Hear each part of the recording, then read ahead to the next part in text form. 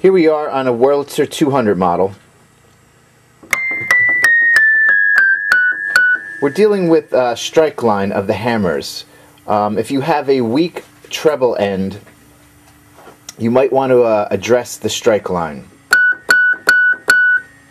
This note is actually not too bad, but in comparison to the other notes up here, we feel that it needs to be adjusted.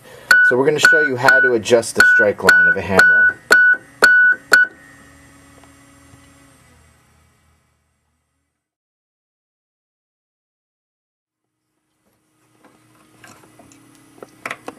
Okay, in order to adjust the strike line, the first thing you're going to want to do is to remove the hammer. So you go in through the dampers with a screwdriver, a thin flathead, loosen or remove the screw, twist the hammer and pull it out.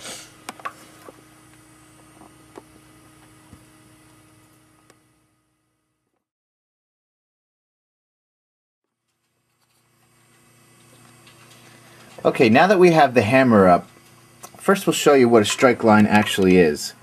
The strike line is where the hammer comes up and hits the tone generator, which is a reed in the case of a Wurlitzer. So on your Wurlitzer, you'll notice uh, on the treble end that the uh, hammers might hit the reeds at different spots. Um, you particularly want to make note of reeds that sound good and reeds that don't and observe where the hammer is striking the reed underneath. Um, so this is how you'll set your, your, your strike line by manipulating the hammer um, and where it hits the reed. So we're going to show you how to change that strike line.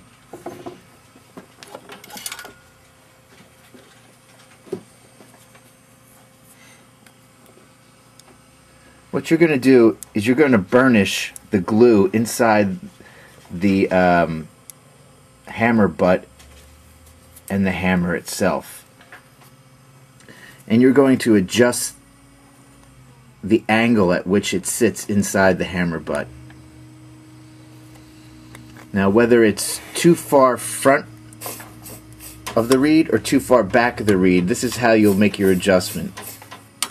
You'll predetermine that before you start moving it by by observing uh, what we just showed you first of all.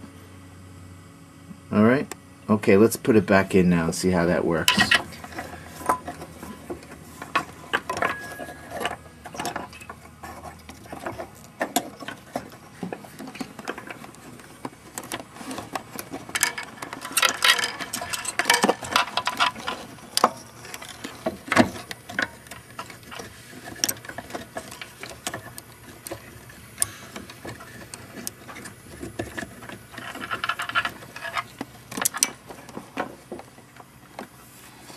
When putting the hammer back in, it's best to have two hands because you have to put it in sideways and then twist it upwards.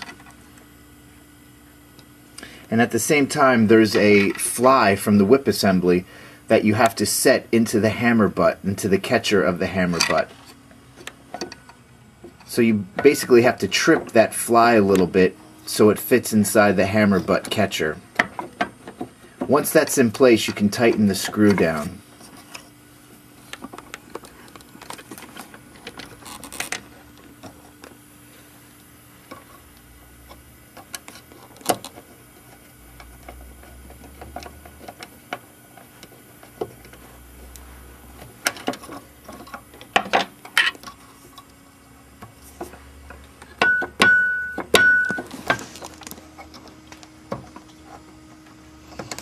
So we changed that that hammer positioning.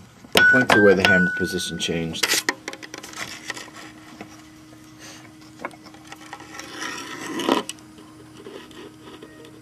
Okay. Great.